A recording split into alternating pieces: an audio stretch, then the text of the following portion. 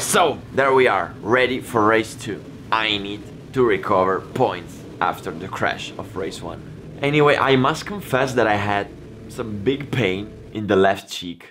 And I didn't understand why until a friend of mine, Nicola Melani, which made a video from the grandstands, showed me this clip. As you can see in the fall, the rear wheel hit me so hard on the left butt cheek that the airbag in the suit blew up. The hit was so hard that it blew the airbag. Anyway, no problem. It's bearable and I, I can ride. Now we have set the power to 3, hoping to fix this problem. But the biggest difficulty now will be to regain confidence with the bike. Getting back the feeling after a crash, it's not easy. It takes some laps. The thing is that on one hand, I wanna do good. But on the other hand, I cannot risk to lose more points.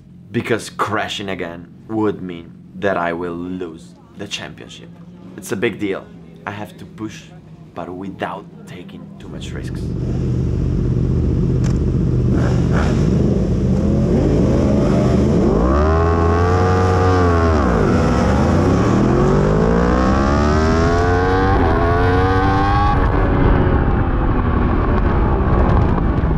Go, go, go! Good start. Now I'm behind Ambrosio again.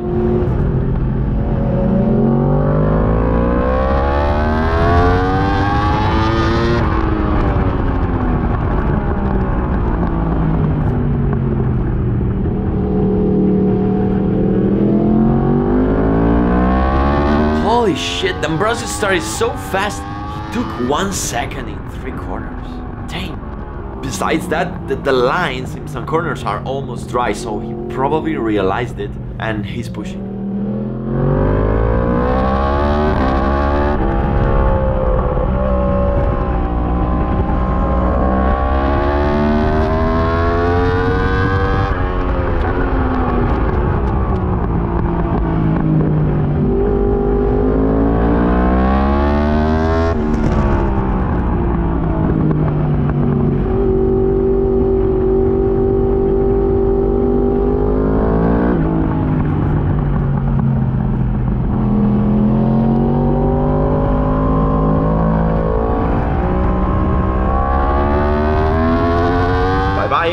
D'Ambrosio is gone. I don't feel like pushing to try to catch him. It's better to guard this position and collect as much points as I can.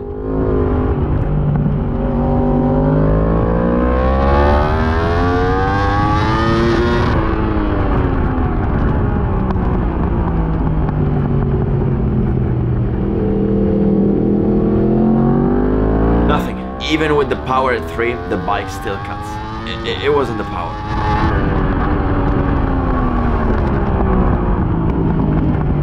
Oh my god, what the hell happened?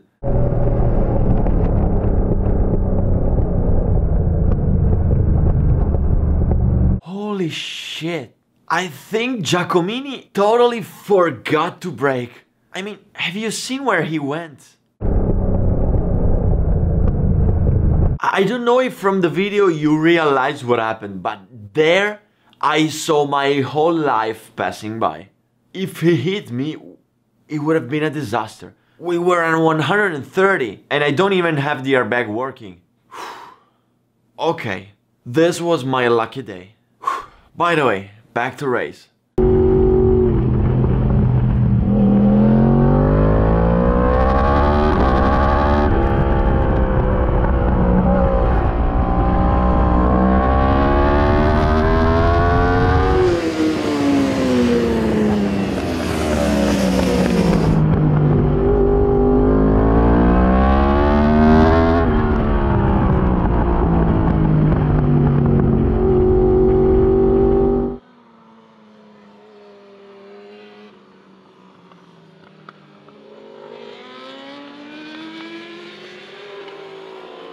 Anyways, D'Ambrosio became unreachable. I, I can't say anything, but just congratulate with him. On the other hand, it's been three laps now that I pass in front of the pits and they're showing me that the rider behind me is earning one second per lap. I, I don't feel like I can go one second faster than this without risks.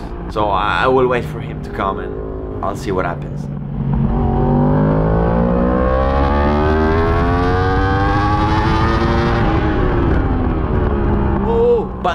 That was Giacomini the one that was catching up.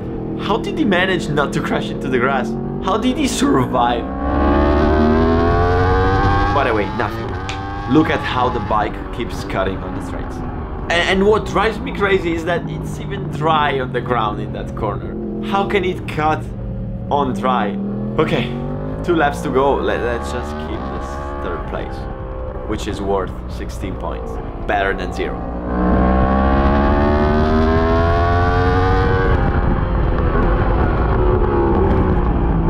Look at how much it's raining. What the hell's going on here? And Giacomini even went to chase D'Ambrosio. He might pass him.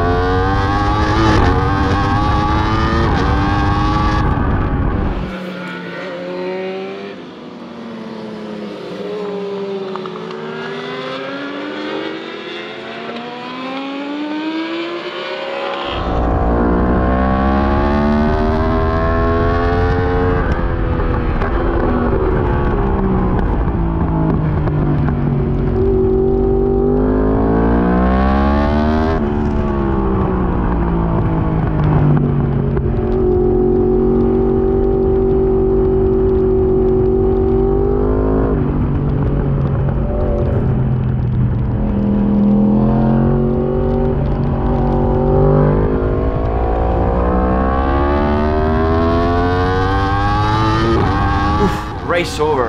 And Giacomini catched Ambrosio. I wonder who won of the two.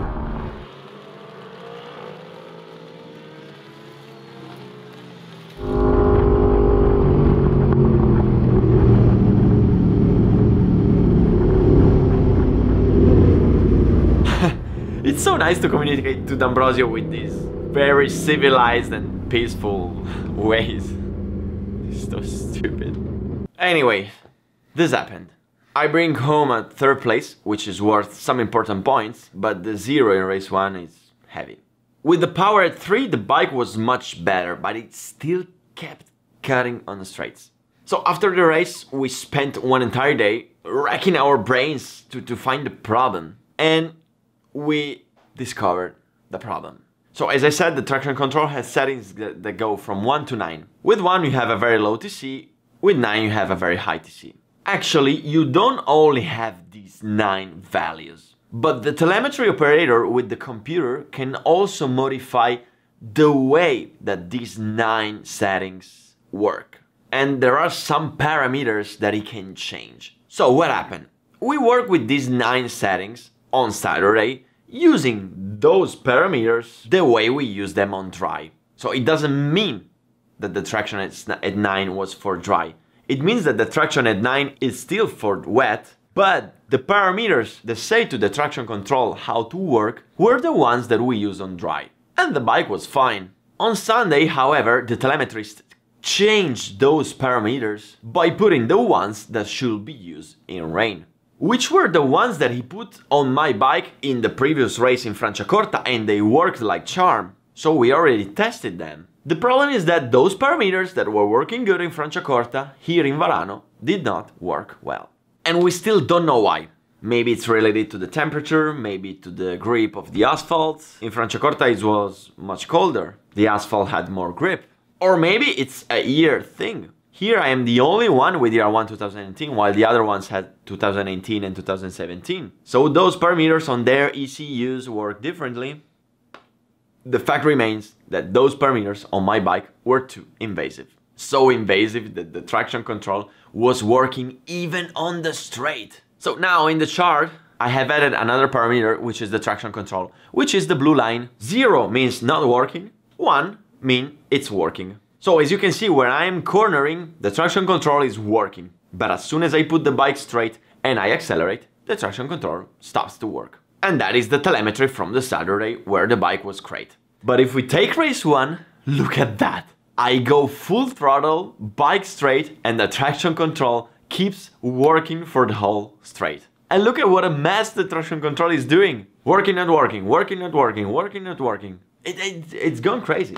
And if we take race 2, where I have put power at 3, it happens that sometimes it doesn't cut on the straights, while some others it cuts randomly. And the time when Giacomini passed me, look at that, on the whole straight, it kept cutting.